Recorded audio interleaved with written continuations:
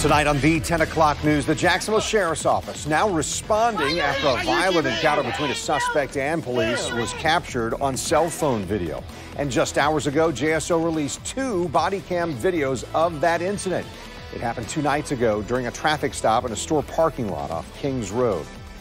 The family of 30 year old Natra Jones said that he was beaten by officers. Jones charged with resisting arrest and possessing cocaine and drug paraphernalia. And he was released from jail this morning after posting bond. News4JAX reporter Erik Avanier joins us live from JSO headquarters now to break down the video and the arrest. Erik?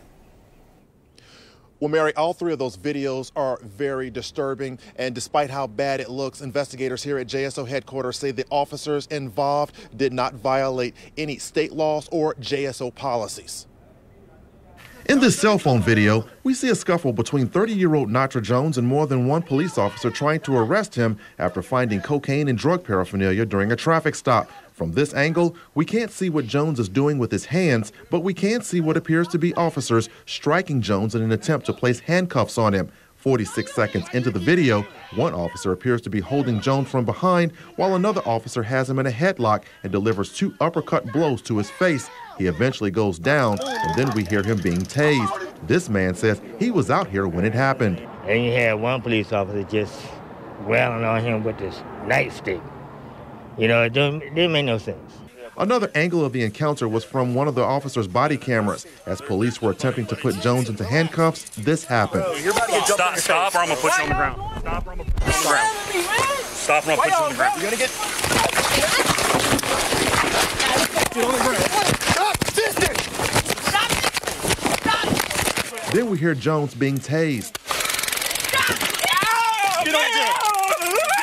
Get on the ground. Get on the ground. Put your hands behind your back. I'm on the ground. Put your hands behind your back. From this third angle, we see more of what's happening, and we hear one of the officers say he's got a gun. He's got a gun. He has a gun. Get hard. I don't got no gun.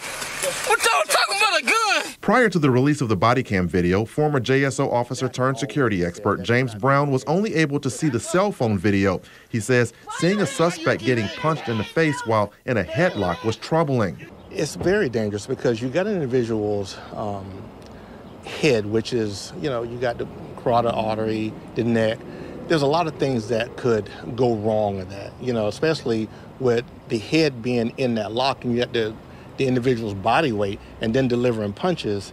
Brown also says that when you have multiple officers on scene, there should be a coordinated effort to take a suspect into custody to avoid the appearance of police brutality.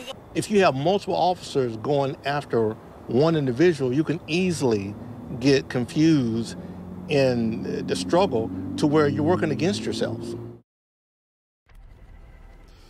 Now, although in that body cam video, we hear one of the officers say he has a gun, uh, no gun was found in Jones's possession. Court records show that Jones has a long criminal history involving the sale of illegal narcotics. Now, his mother told me over the phone earlier today that despite his criminal background, she felt her son did not deserve to be beaten. Reporting live from outside JSO headquarters, Erik Avanier, Channel 4, the local station.